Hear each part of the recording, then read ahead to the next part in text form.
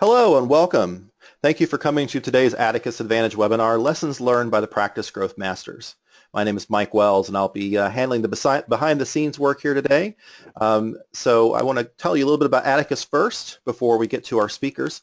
Atticus was founded in 1989 to provide in-depth ongoing support and accountability programs for attorneys that help you increase your revenues and your personal income, reduce your stress, and the number of hours you spend in the office. We're looking to give you greater sense of satisfaction with your career so that you can have more time with your loved ones and your personal interests. If you've ever attended an Atticus workshop or webinar and later you later realize you could benefit from further help implementing some changes in your practice, then the very best thing you can do to accomplish on those goals is to see if you qualify for enrollment in our practice growth program, which meets quarterly for two days. If you're unsure if a group program is the right solution for you, we highly recommend that you talk to us about a practice growth diagnostic to determine your individual course of action. Uh, if you want more information about either of these, you can contact us at hello at atticusadvantage.com. So a couple of logistical items. If you need to ask a question uh, during today's broadcast, you can use the chat function on your GoToWebinar dashboard, and you'll send a message to the organizer, that's me. If you'd like that question to remain anonymous, indicate so in your message so that I don't read your name aloud. You can also click the hand icon on the dashboard to indicate you have a question or comment. And at the end of this session, we'll have a question and answer session, and we'll call on you. And when we do, we'll unmute you so that you can be heard by the group. Today's uh, uh, presenter is Steve Riley. He is a, a, shareholder in Atticus. He's a, a, practicing attorney who has built and sold his own practice. He works exclusively with a limited number of, of attorneys on a one-on-one -on -one coaching basis across the country. He also teaches in a number of our programs and he's also a published author. So without further ado, I'd like to hand this over to you, Steve, if you'd like to continue and talk about uh, today's session and introduce our guest. Well, that'd be terrific. So thanks, Mike. So uh, welcome, everybody. Thanks for joining us today. Uh, today is the purpose of the lessons from the Practice Growth Masters is to give you, the attorney, the opportunity to learn from someone who has done either something very innovative um, or has done a tremendous job implementing some of the things they've learned working with us or have just done some really creative things in moving their practice forward. And so it's one of my favorite things to get to do because I get to talk to some of the best, in my opinion, some of the best lawyers in the country when it comes to running and growing a practice. Now, one of the big distinctions here is that we're not going to focus on the lawyer's legal expertise. Like, you know, we're not going to talk about legal technical issues. We're really going to focus on the business side of the practice. So today we're really going to hit three things. Number one, we're going to take lessons from the Practice Growth Masters, which in this case we're going to introduce uh, one of my favorite clients and a longtime friend, Joe Seagle, who is going to, and I'll give him a more formal introduction in a moment, and talk you know, set him up so you can understand where he was at when he started his practice, where he grew his practice. And while we can't, we only have about an hour together with Joe, and he's taking time out of an intensive uh, schedule. Uh, we don't have a time to take apart everything he's done, but he's going to share with us four or five key strategies that has allowed him to move his practice uh, forward to, to really be more of the practice that he wants in his mind, his dream practice. Uh, we're going to talk for a few minutes about how Atticus programs work. This series is really designed to help you look at what would what could we do as a company to help you move your practice forward. And then third, uh, I always end with the most important recommendation out of this particular call, or other series of calls. So those are really the three uh, topics. With that, let me introduce Joe uh, to you. So Joe um, I asked Joe before the program started, is there uh, anything you don't want me to ask you? And he said, no, no, I'm an open book. Ask me anything. So everything's fair for me today. Joe already put that on the table. But Joe um, is a very successful um, real estate practitioner, but that's not fair to him to look at some of the things that he's done from an innovation perspective, which we're going to spend some time on. Uh, Joe really opened his practice back in 2004 and has grown it tremendously. He and his partner Philip have done a tremendous job. And he's really done a very interesting, a couple of very interesting things in this practice I want to make sure I talk about. So before we go further, um, let me just do this. Joe, welcome to the call. Thank you. And how are you doing, man? Are you ready? Are you ready to go to work with us? Can't wait. Uh, this afternoon? Can't wait. So when you started your practice back in 04, and you just kind of started it, um, what was it like? What was your practice like? Could you, uh, you know, how many employees did you have? What was it like for you? Where were you, you know, where, what was a typical day like for you?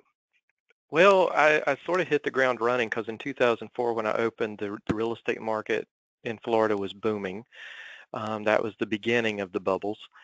And uh, I uh, quickly hired my mom uh, who flew down from North Carolina and spent a couple of weeks with me uh, just to answer phones and faxes. Yes, we still had faxes back then. Um, and then I hired a, a receptionist slash assistant who uh, I would now say that I had adopted her. Uh, looking back on it at the time, I thought I was just giving her a, a lot of chances. Um, and then slowly, uh, quickly, actually, by 2005, I had grown in 1,500 square feet. Um, I think I had 10 employees crammed in there, um, sitting on top of each other. And then uh, by the time we moved out in 2007 into our own building of 3,000 square feet, we had uh, close to 20 employees. Um, so I, I, was running like a chicken with my head cut off when I first opened in 2004. It, it was a madhouse. It was crazy. Were you getting a lot of time off then? No, no. I, I prided myself on answering clients' emails at uh, you know midnight, one, two in the morning. Uh, you know, you stay up till two or three in the morning. You get back up at six or seven and go at it again. And Saturdays and Sundays are times that you you know, if you're not running to Costco buying drinks and snacks for the office, you're you're in the office or you're sitting at home reviewing documents or drafting documents or again returning emails. And so you, you even on holidays um, I remember you know going to my parents' house on Thanksgiving and you're sitting there with your laptop still you know going as hard as you can go even on Thanksgiving Day and and and, and any holidays. It was it was just you worked, worked, worked, worked, worked, and that's supposed. And and and, I did make a lot of money. I was making good money, but um, I had no life, uh, no no real social life, no real uh, uh, family home life either. It was pretty bad. And so, what, where were you, or what was going on when you reached out to start working with Atticus? Like what, what happened there? Because you, you're working, you're not taking any time off, you're working, you know, 14, 16 hour days, you're working seven days a week. And most lawyers think that's like a, a badge of success, um, not realizing that might lead them to burnout or exhaustion. And they're thinking that, you know, that's a really good life right there. That's a good practice. What happened? Well, well, uh, the bubble burst. Uh, we went, I remember in 2006. A lot of people think that the recession started in 2007, but it really started in 2006. Um, August 2006, we went from doing about 100 closings a month to 10 uh, in August. And I said, well, it's just a slow time. It's going to come back. And then we went from 10, we went to 3, 2. They were canceling. I'd opened uh, two other satellite offices uh, in various parts of the area, Central Florida. Um, and I had to go in one day. Uh, and finally, I made it to 2007. In 2007, I laid off in one day 70% of my staff, um, and that's wow. the, that's the saddest day of my life where you're eh, from work life. Saddest day of my work life where you're sitting there looking at these people across the table who have done absolutely nothing wrong.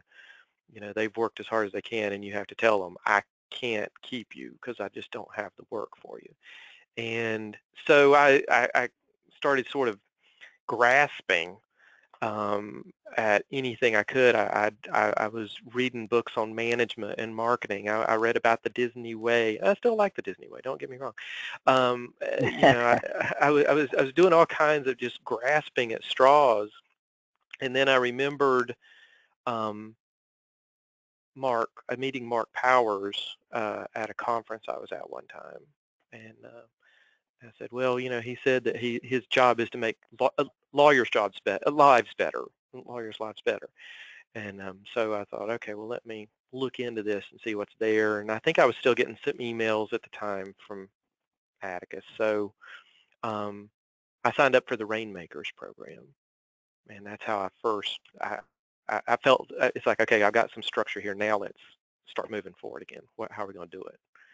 So. Well, that's interesting. So the Rainmakers program focuses on time management and light marketing and you know like how to do referral based marketing really starts opening up the doors for marketing because if you've got four cornerstones for growth you got the rain you've got the client development you've got time management you know cash flow and profitability and hiring and staffing and the rainmakers really focuses on two so when you start the rainmakers program what happened next did that work for you um, well looking back on it i mean we rainmakers was sort of like i mean yeah it worked it, it got me at least got some structure to my thinking um, as far as okay. okay. these are this is a plan of action that you can take step by step to at least manage your time and think about you know consistently marketing um, and it gave terms to to ways of thinking top of mind awareness you know things like that referral based marketing things I'd never even heard of um, laser talk so um, it, it, gave me that, but Cami, our, our coach, she's talked about it before. She said to me, that's sort of like you've got a gym membership and you go to the gym.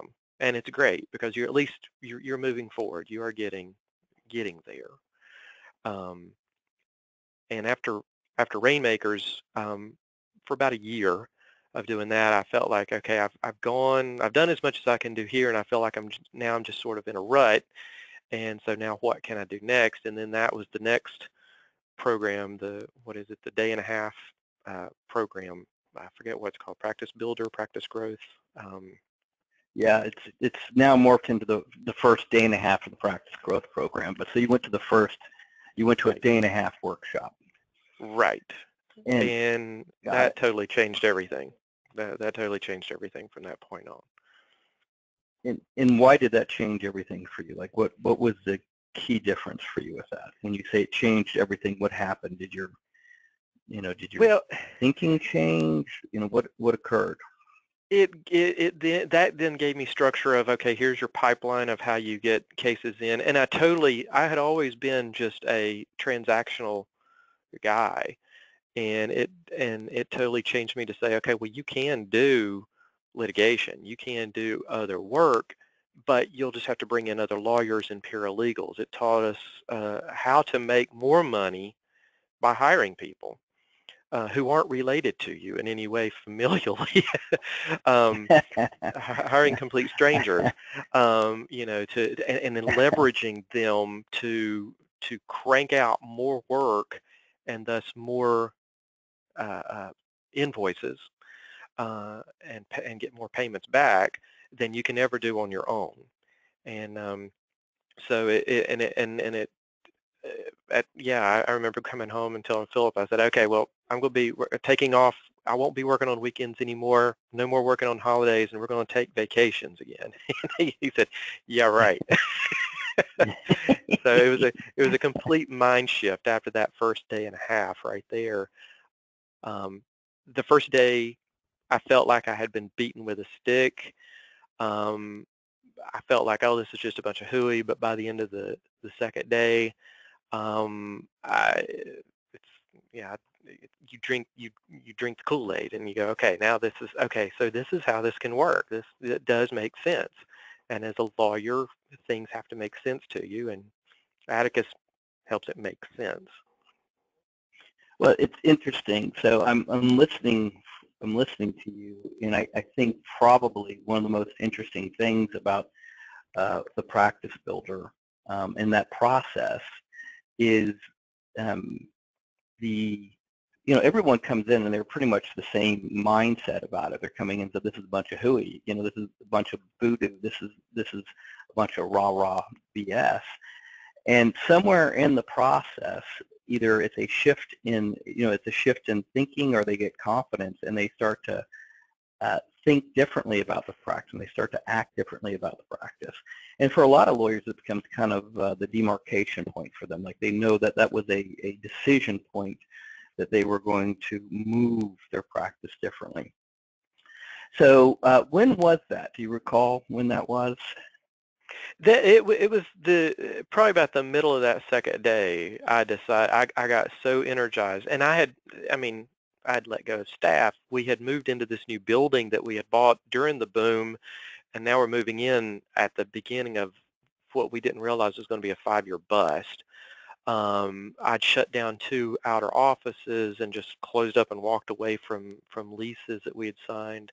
I had uh, realtor offices going bankrupt, so I just I, I was just you know lower than a snake's belly. I was low, and but at the yeah. end of that second day, in the middle of that second day, it's sort of like this light goes on. You go, you know, I I can do this, and it doesn't depend on uh, what a great lawyer I am.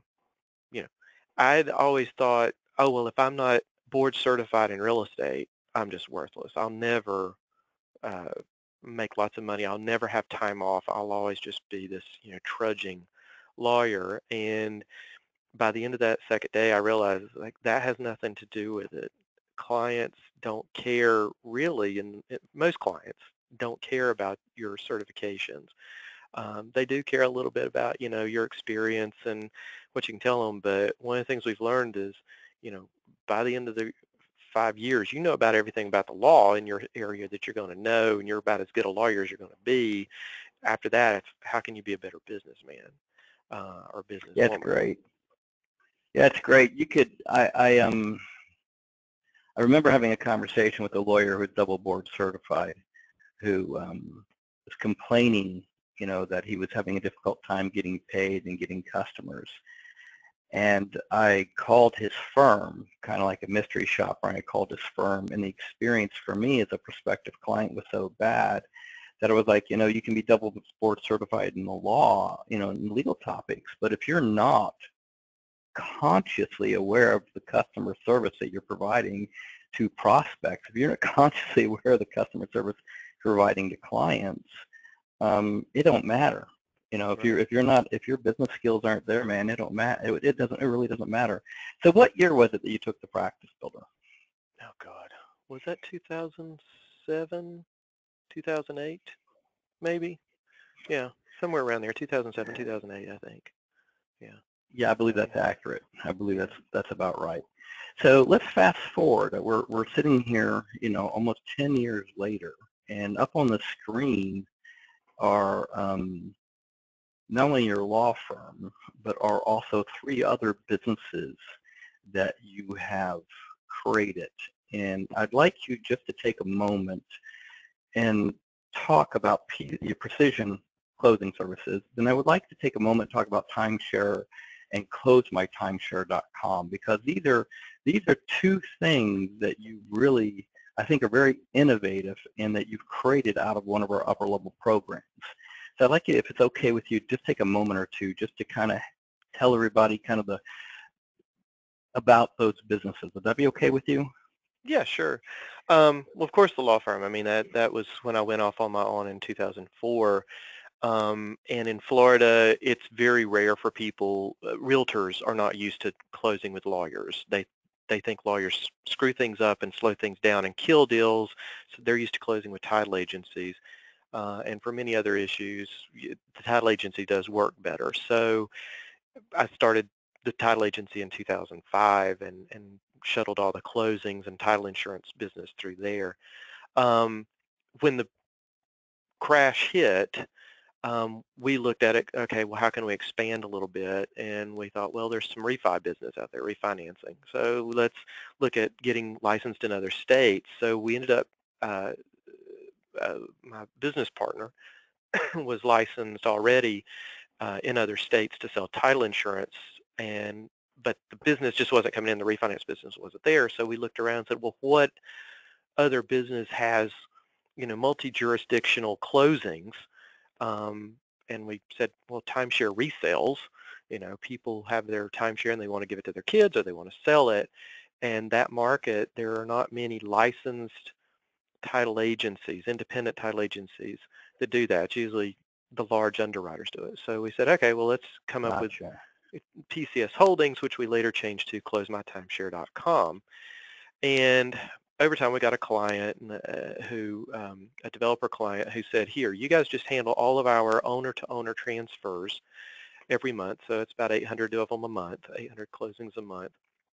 Uh, and so we went to them and said, you know, guys, it would be much easier if we didn't have to fax or, or email or, or, or mail this paperwork back and forth to all these people all over the country uh, or all over the world in some cases for their closings. So can we, you know, put it online? And they said, well, no, not yet. So we said, well, we don't care. We're going to put it online for ourselves just to make it easier for us to track what's going on. So we came up with this, slowly developed this cloud-based um, process um, so that uh, we could at least input everything in in a cloud-based system and produce the documents and kick them out and track everything as it moved through the system. Because 800 closings a month, that's that's a lot of paperwork, a lot of people to keep happy and also keep them up to date on what's going on. At that point, we are still dealing with phone calls of people calling, did you get this? Did you get this? Did you get this? So finally we convinced the client after about a year of them, we opened it up to them next and said, here, you guys can just go in to our dashboards and see what's going on. And they fell in love with it. And, they, and so we said, okay, fine. Can we now open it up directly to the consumers, uh, your consumers? And they said, sure, go for it. So we did it. And we realized that this is not just something that they can use, but we could use it with everything else. So it expanded and Timeshare Pro Plus expanded into this, this, you know, sort of, there are multiple cloud-based modules to it now. It's, it's, we hold escrow. We have one called uh, holdmyescrow.com. We have one called requestmyestoppel.com for homeowners associations to use, uh, timeshare owners associations to use to, for people to go in online and request uh, their condo estoppel. We, we uh, uh, did the owner-to-owner where uh, you can go in, enter your information, and we get it, or we can license it to other title agencies or law firms, and they can use it, and people can go in and order and their their deeds or whatever they need. Um, another module is um, oh gosh, we got, uh, Jiffy Docs. Uh, Jiffy Docs, a lot of uh, realtors who are who handle timeshare resales, they were uh, the way they were doing their contracts was crazy. So we developed a, a module that their documents are online. All they got to do is go and fill in the information and it'll produce the documents, send them out. The people can docu-sign them, Echo sign them, whatever, electronically, and they come back within seconds. Um, and they don't, they don't have to worry about pulling up a Word document and changing them over and over. You know, things that we've done in law for years, realtors, right. uh, timeshare realtors haven't done.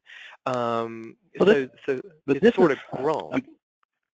Yeah, so this is really important. So those of you that are trying, you know, are paying attention and listening, um, you know, there are a couple things that Joe did here that I just want to highlight that were very that were very brilliant. uh, first and foremost was when the rest of the market was zigging, he zagged. So while the rest of the market, the real estate market, was backing down, you actually took a step back and said, okay, what do we have that's unique that our competitors don't have, and how can we sell that? And first off, it was the multi-licensing capability, multi-jurisdictional practice. The second thing that you did, which was really important, and it's one of the things that I see a lot of lawyers that are doing innovative work that you're doing, um, is that sometimes lawyers um, drive right past the simple opportunities to innovate. So when you develop the the Timeshare Pro process, you you really pitched the client on it and really got the client to buy in and then over time improved it, paid for it, and then rolled it out to the customer, you know, to consumers at large, um, which was very important. So, I mean, a lot of lawyers, sometimes they have a tendency to go, you know, for the home run versus getting on base. So it's one of the things that you've done very well and you've done strategically. Um, when you were going through that process, and, and I love the Jiffy Doc thing, by the way, I love that. Um, when you were going through that process, uh, what what was the fuel for that? I, I know that it was, you know, the timeshare work has to be low margin. It's got to be complicated. it's got to be um, aggravating. But what was the, when did you connect the dots and say, you know, what I need to do is do a cloud-based process on this? What was the, what was the muse, the inspiration for this for you? Well, my business partner was sitting around and, and we were just sort of talking one day and he said, you know, if we didn't have to, well, we talked about our postage bills, our UPS bill, um, which was running thousands of dollars a month. Um, and then uh, the biggest complaints we were getting was just how long the process was taking. Um, when we took over that project from the client that they were trying to do in-house, they were already two years behind on everything. And uh, when we got everything caught up, they said, okay, fine, we'll just bring it all back in-house.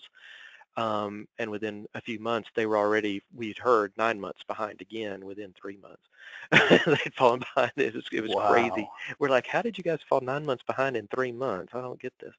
Um, but, uh, but, but yeah, we, we just started looking at things. But it, listening, you know, uh, to to him, I mean, my business partner sitting there saying, "How can we do it?" And, I'm, I, I just go, "Why can't we just put it all on the web and run it on a cloud-based system and just, you know, you know, what I should have said was, why can't we just throw a quarter of a million dollars out there and program something? Because that's basically what we ended up doing. You know, let's just burn through a quarter of a million dollars real quick. Um, but but by doing that, you know, by by taking the risk, by spending the money, uh, and by doing it, it, we we we got something set up that solved a problem in the industry that um, and and any lawyer I mean, we talk to estate planning lawyers, we talk to personal injury lawyers, um, uh, criminal defense lawyers all the time, and we hear them talking, just just listening to them, and we go, okay, well, there's a, a pain point for your client, your customer, or for yourselves. Why can't you develop something to fix that? You know, why can't you come up with something? And you know, we've met other lawyers in Atticus who have come up with similar ideas in their practice areas. And it seems that we all sort of take that same tack of, or the track of, first we're going to come up with it and we're going to try it out on ourselves and we're just going to you know hammer it to death for about it takes about a year at least to to get it developed and work out the kinks uh, and then after you've done that then you can start saying well is there a market for this outside of me that I can just license this to people and put their name on it, put it on their website, um, do their mobile app where they can use it and it shows their name and then it just says powered by Timeshare Pro Plus um, down in the corner. So that's where we have ultimately gotten to uh, with that that innovation. Yeah, so you you um, it's one of the one of the things, one of the standards that I look for for an innovation for lawyers is that when your customers and when your competitors start to become your customers, then you know you're doing something very innovative in the marketplace. Because when your competitors look at you and go, you know, um, they do that so much better and so more uniquely than we do. I wonder if we can license it or buy it from them. And uh, that's when that's when you start to become what I would consider a, a market dominant player and a, and a game changer inside the legal industry. It's something that you you've done brilliantly. Um, so let me, I mean, we're, we're, you've gone through a lot of evolutions. You're currently um, in the, you know, Dominate Your Market program. Let me ask you this question.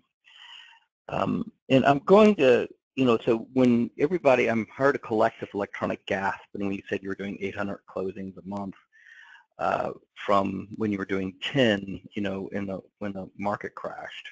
Let me ask you this question, and we'll have another collective gasp. And I, I know the number already because I asked you before the call. How many days off did you have last year? Oh, um, 146 last year. Okay, so so this is important. So 10 years ago, we had no time off. We're working, you know, every day of the week, basically, whether it's running to Costco or responding to email, and working horrible 16 days a week. And this year, you're Last year you had 146 days off. And so we'd say days off, uh, for our purposes of definition, that's no emails, no phone calls. There's 146 pure days off of just uh, having a good time, vacationing, you know, rejuvenating, resting, whatever it is that you want to do on that. Um, and I know a lot of lawyers, whenever I talk about time off, don't they don't believe me. They think it's you know it's a, a bunch of hooey and a bunch of BS. Um, what's the benefit to you as a business owner in taking that time off? What's the benefit to you? You have time to think.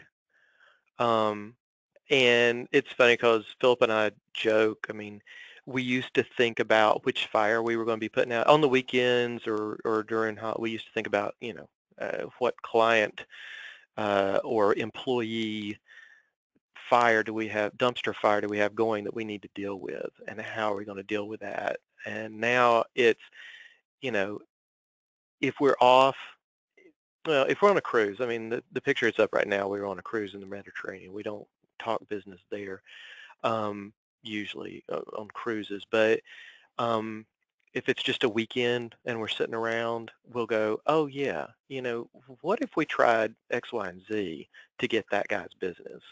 It, my time is still spent probably 70% on um, being the captain of the ship and, you know, sort of charting the course of where it's going to go. The other 30% is spent down, you know, shoveling coal into the, the engines. Um, Philip, on the other hand, uh, spends really 100% of his time just charting the course for the ship to take. He he does not deal. He he's got it even better than going running better than I do. That all he does is business development, business development.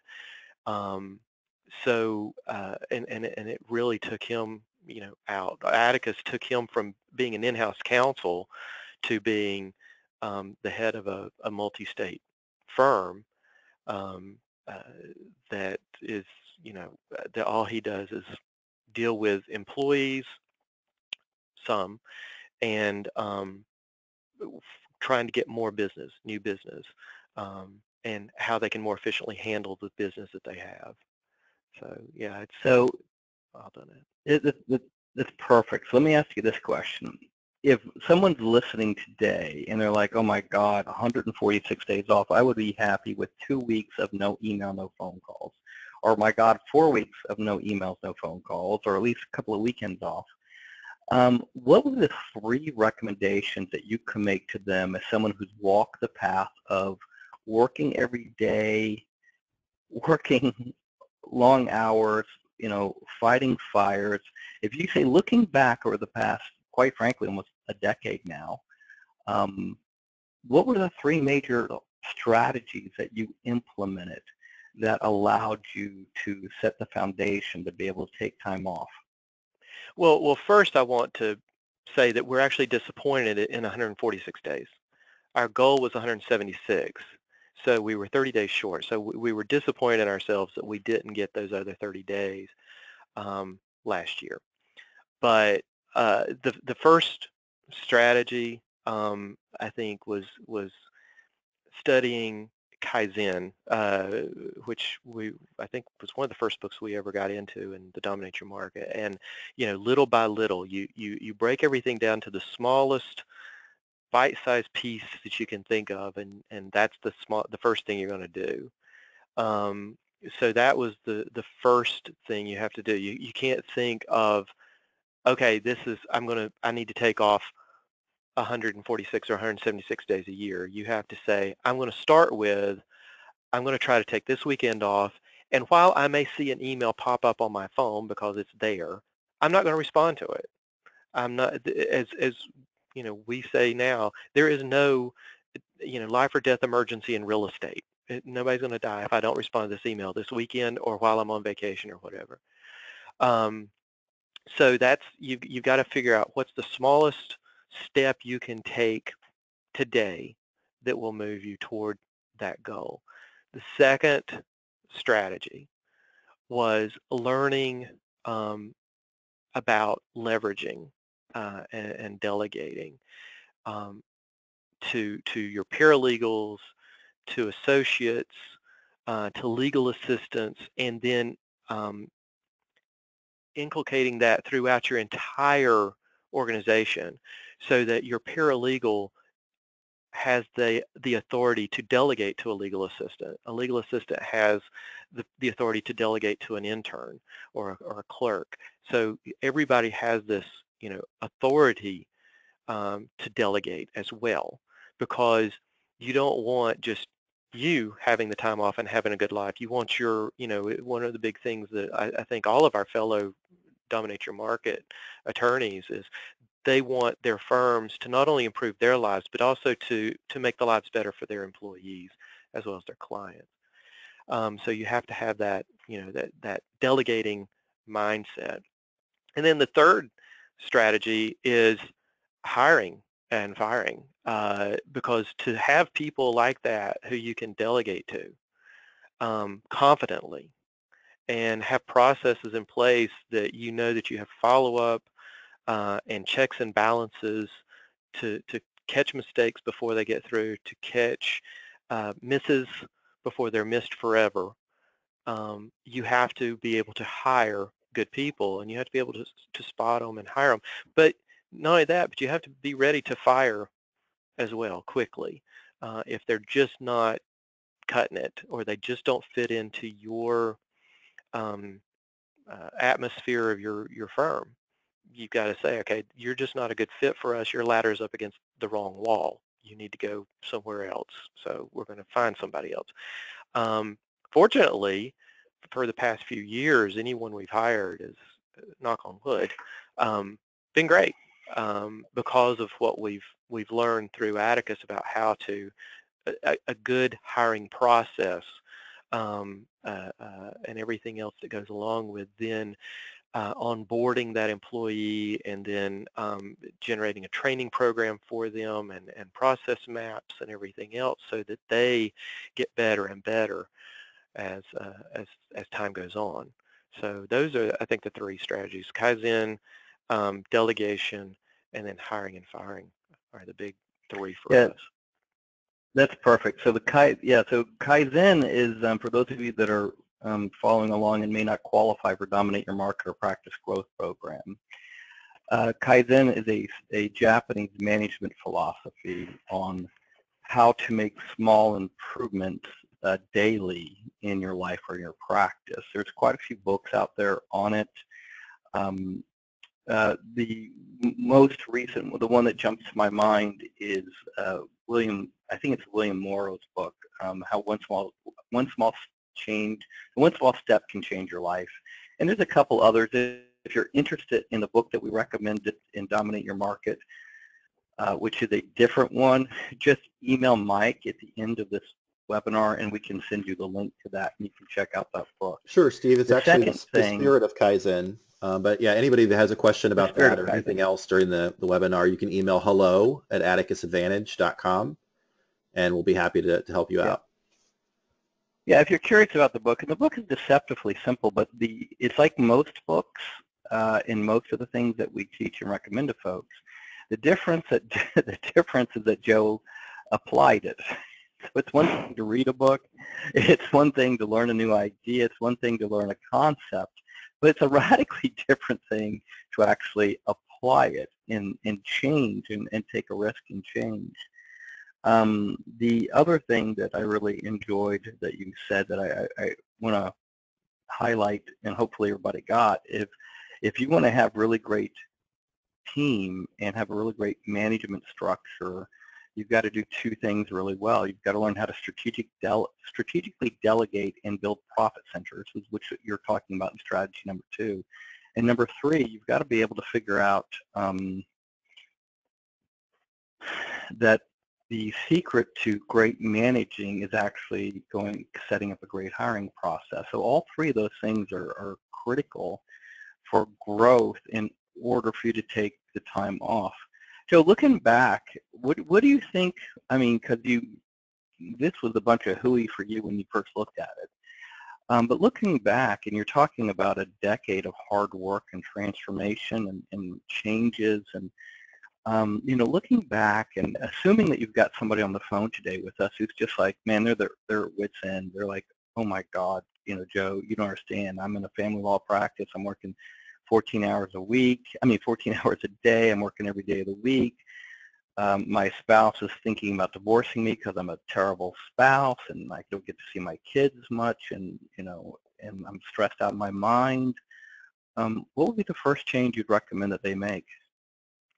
Well, and I, I don't just have to, Yeah, I don't I don't just have this conversation with lawyers. I've had this conversation with doctors and pharmacists and uh, uh, CPAs, uh, uh, dentists, and I tell them, I go, well, first you've got to decide what you want out of life.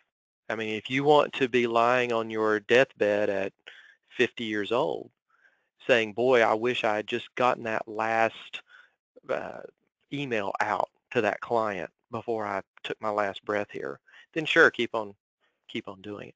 But at some point, you've got to say, okay, enough. And it's not going to be, it may be a spouse saying, that's it, you know, I'm done. I, I remember my doctor telling me one time that he was uh, coming into work that morning and his wife had written in lipstick on the, the mirror that if you don't cut down your hours, I'm leaving you. I said, well, what shade did she use? You know, but, um, I, and, and he ended up, you know, it was his, his, his wife telling him she's had enough. So he ended up, he, he sold his practice and retired at 50. Um, and I don't think that made him happy. You know, I think you've got to first go, okay, I, I've had enough. And once you've reached that point, it's, it's sort of like an alcoholic. You're a workaholic. You've got to say, you've got to make that decision. I've had enough. Then once you've made that decision, then you're ready to move forward. You're ready to start going, okay, what do I enjoy? and what will make my life more well-rounded and more complete that I will look back on on my deathbed and go, boy, I wish I'd spent more time in Greece, or I wish I had done, I'd played more golf, or I wish I had volunteered more hours uh, at the food bank. You know, whatever that may be for you, you've got to first decide, okay, I've had enough. Now let me start designing my perfect life going forward. That's perfect. That's perfect. Because I, I, think, um, you know, for me, oh goodness, I've been working with lawyers off and on and trying to help them design what you consider a great life for 20 plus years. And I think the two things that you said are right on the money that I've heard over and over and over. One, they have to have enough pain where they go, okay, that's it. I, I can't, I, I, I have to change something and they have to hit kind of an emotional rock bottom where they go, I, I have, this is painful enough. Because until then, they're the smart, they're smart people. They're like really smart, they're very successful in their own mind, but until they reach some kind of self-realization where they have to have to admit to themselves there's something they don't know um, that they don't know about, which might be, you know, the business side of the law, it might be you know, how to think about strategic delegation, how to think about the financial side of the law. There might be something. They may be a tremendous trial lawyer, but when it comes to selecting great staff, they may be horrible. And, uh, you know, until they can reach a self-realization and own that, um, they're almost impossible to talk to because they can't see it, they don't get it, they're, they're just impervious to the world um, you know, they're just they're the they're just the smartest creature they've ever met, and they're good looking too. And they they're just you know they just can't they they just it, they're just impossible. And so they have to get to a point where they're in enough pain where they go, okay, I can't take this anymore. And some younger ones, some younger ones are smart enough they can look upstream and go, oh Lord, have mercy. I don't want to have that guy's life, which was one of the reasons I left the first practice I was part of. I looked upstream, looked at partners, and said, oh, uh, yeah, I don't want that. And so some of the younger lawyers are smart enough to go there might be a different path than the traditional path to pain and suffering. The second thing is making a decision. You've got to decide, okay, this has got to change and making a decision to make the change. So um, in a moment, I am going to open this up for people that want to have questions for you. And uh, I really appreciate you sharing and explaining kind of what your thought process the innovations that you've done. And I realize that we're highlighting just, you know, it's kind of like, it's like doing a comic book version of a masterwork of literature because the, the amount of work that you've done over that time period is so significant that most people don't, you know, there's some lessons that you've done, some things that you've, you've gone through that you've no doubt forgotten about. But, you know, so it's not really fair to you or fair to the experiences. But I'm going to give people the opportunity to go, you know, to ask questions of you in a minute. um, before they do that, I am going to make a couple of recommendations. So uh, what I like to do is just talk for a moment about what might be next for you as you listen to this before I give you an opportunity to talk to uh, Joe.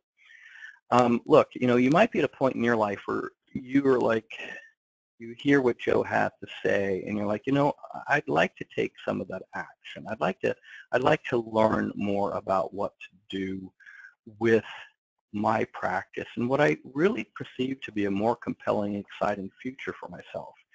And to do that, all you have to do is make one simple decision, and that is really going to be um, uh, looking at your leadership and management skills. Uh, and really, I'm going to recommend that you consider doing what we consider call a practice growth uh, diagnostic.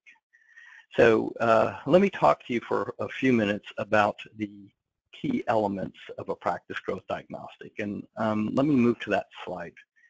So when you're looking at yourself and you're trying to make a determination and trying to make what's going on with your practice, there's really three elements of a practice growth diagnostic. Number one is looking at the four cornerstones of growth. What's your profitability? What's your team and staffing like? What's your time management skills like? And what's your client development?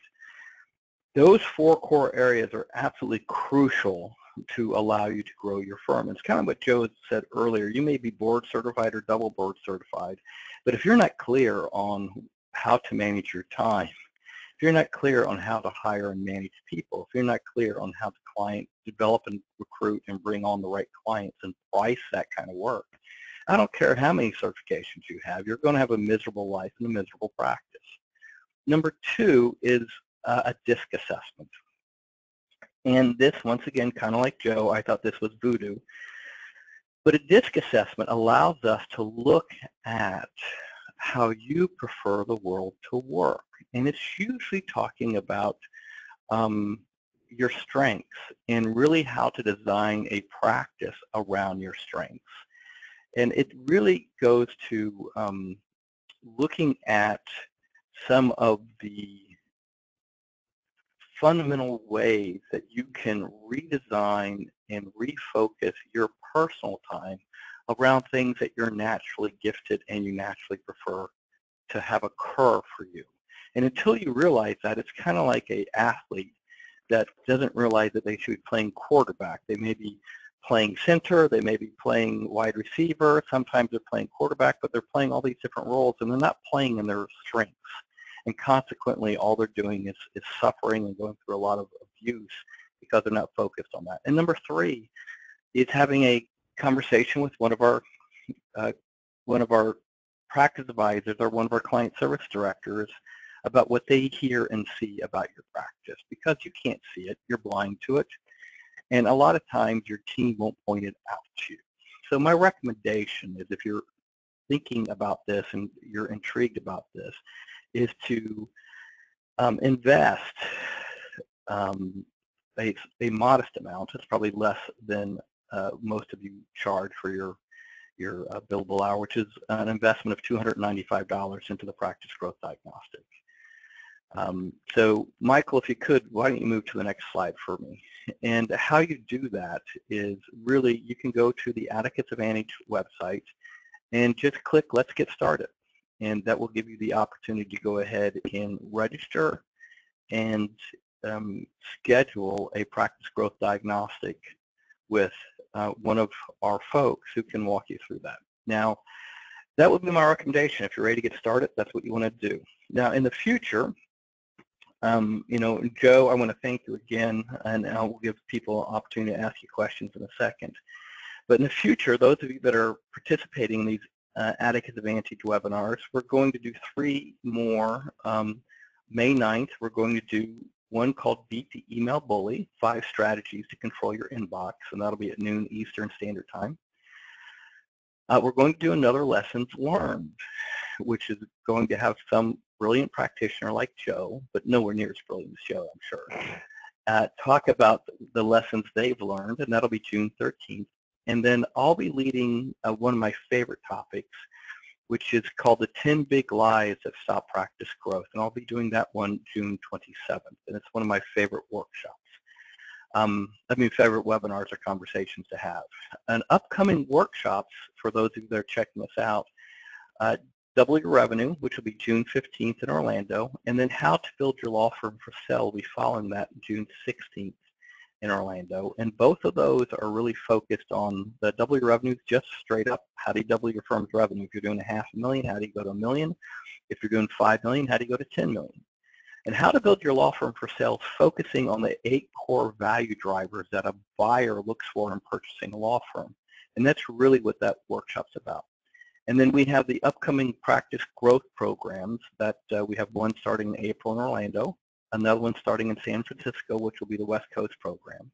And then this week, we're starting a Dominate Your Market program for estate planning and elder law lawyers. If, if you're interested in any of these programs, just pop us an email, hello at atticusadvantage.com, and we can uh, give you the qualification information, talk about how to apply. Um, with that, um, Michael, why don't you tell them how to ask questions, and we'll give people the opportunity to talk to Joe about anything they would like. Sure. Once again, if you, you can use the chat function on your GoToWebinar dashboard to send a message uh, to me, the event organizer. If you'd like that question to remain anonymous, please indicate so so that I don't read your name aloud. You can also click the hand icon to indicate you have a question or a comment, and we'll call on you. And when we do, we'll unmute you so that you can be heard.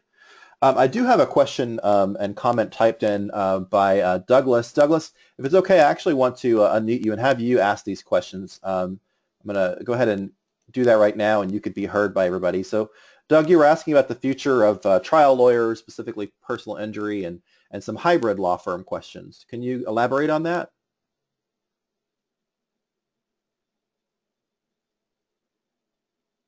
Okay, Doug may be having some audio problems, so I'll read his questions aloud for him here.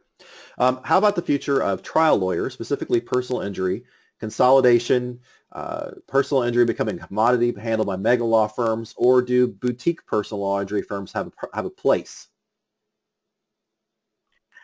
Um, Joe, I'll let you respond to that. Then uh, I'm going to take my swing at it, then I'll let, let you take a swing at it if you're interested. Yeah, um, yeah. I think, yeah, I, I, I think that uh, if you're a trial lawyer, there's always going to be a place for good to great trial lawyers. However, I really think that you have to examine your business model today and appreciate how you get work in the door. And the thing that will drive more consolidation of trial lawyers and consolidation of law firms will be their ability to bring in business and their ability to niche. So if you're a general automobile accident firm, um, nothing will probably get your attention more so than self-driving cars. Because if you're carrying, let's say if you've got 100 cases, uh, typically most small solo practice auto accident, I mean in, in plaintiff firms, about 70% of those cases are going to be auto accidents. So if you're sitting here looking at the newspaper and going, huh, what do Uber self-driving cars have to do with me and what's Google's self-driving car have to do with me and what does Apple have to do with me?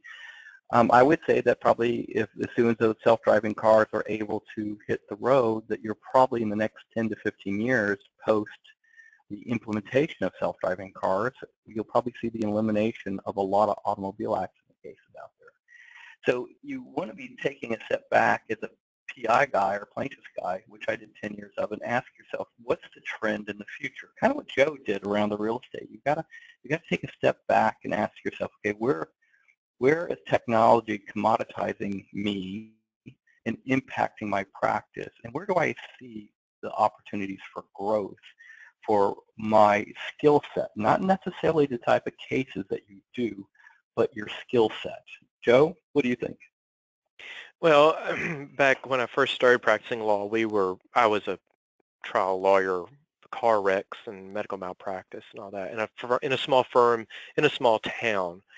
And what I've noticed in over 20 years now of practicing is that the smaller your town, the more general your practice can be, and has to be. Um, the larger the town, the smaller your niche uh, has to be. You have to be laser focused. Um, so now I I'm in Orlando, uh, Central Florida, fairly large market. we have the Morgan and Morgan uh, of the world, you know, the 500-pound gorilla personal injury firms, but I also have friends who are in smaller firms of, of anywhere from two to 10 lawyers um, that do personal injury uh, work and medical malpractice work, and they do extremely well um, because, number one, they don't uh, have to feed that advertising beast of television and radio marketing uh, daily like the, the, huge firms are having to do.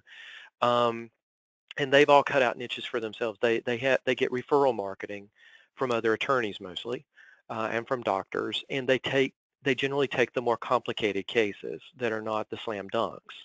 Um, so uh, that's they, they they survive on smaller staff, smaller marketing budget. Um, in niche cases, they're usually the ones that the big uh, mills, as I'll call them. Uh, and I, I, use the term endearingly because I'm, a mill too in some parts of my practice. Um, but they take those cases on and uh, then they get a reputation for, oh, well, they will take the, you know, the brain injury uh, baby case uh, from a federal military hospital overseas. That's the only cases that they'll take. Um, or something like that. They, they build that niche and they become the go-to firm, not just in their town, but worldwide. My and and, a, and a, the reason I say the the bad baby case from the military hospital is because my law firm I started working with 20 years ago in a small town in North Carolina.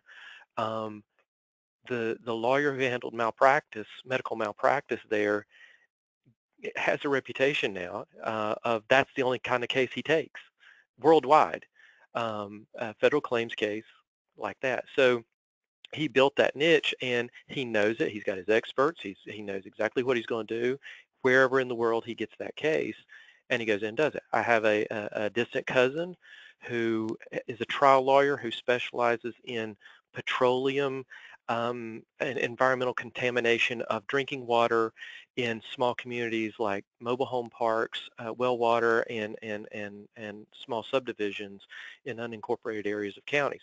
And he travels around the world and has some of, uh, holds some of the records for some of the largest jury verdicts in those cases. I'm talking hundreds and hundreds and hundreds of millions of dollars. But he built a niche as well. So there is a place for the small trial attorney's firm. Uh, but yes, you have to find that niche of what you're good at because that's the only way that you can do anything and do it well and do it fast enough and make enough money and scare the, the defendants enough that they go, oh no, here comes that guy. And, and we know him from other cases around the country. And, and I think that's another way that the, the small trial attorney firms will, will last. I think it's perfect. I think it's a great analysis because what you're going to see is greater hyper hyper specialization and hyper niching, niching, and just like Joe said, nat statewide, regionally, and maybe even worldwide. So you're going to look for what is that that injury niche more so than um, that geographic niche. So that's well, that, what you're going to see. Yeah, and Go that ahead. goes back to what we were saying, knowing what your ideal client is. Uh, if you don't know what your ideal client is, then it's very hard to find that niche. Um, and then you get to you get to the point where it's like, okay, I only accept these clients on these cases. You know, mesothelioma from this year and this year to that to that, and that's all I'm going to take. Um, anybody else, we refer out to this other guy, and we worked out a deal with this other firm that that's we'll refer it all to them, and they'll we'll we'll work out some fee over there for that. But that's how you that's how you survive. Got it. So, Michael, we're at the top of the hour, and what I'd like to do is go ahead and respect Joe's time and uh, call the webinar to a close. And Joe, just want to thank you again, bud. I, I greatly appreciate. I know how busy you are. I know how valuable your time is, and I hope the people that attended today's webinar can um, appreciate the wisdom and insight that you're offering from the battle scars that you've earned on, you know, the on building a firm that really is unique and in, in itself an innovative firm. So I just want to thank you. I just really appreciate it. Really appreciate what you contribute and what you bring to bring to um, the Atticus community, to my life, and also to the legal community at large. So thank you, bud. I really appreciate it. Well, thank you guys too. I want to thank Atticus because without you guys, we wouldn't be where we are today. Thank you. I, I greatly appreciate it. Michael, I think we're done for today. Um, unfortunately, we only got one question in, um, and I'll take ownership of me running over on that just because I, I find Joe fascinating. So with that, everybody, thank you for joining us. I look forward to you on the next Atticus Advantage call. Bye.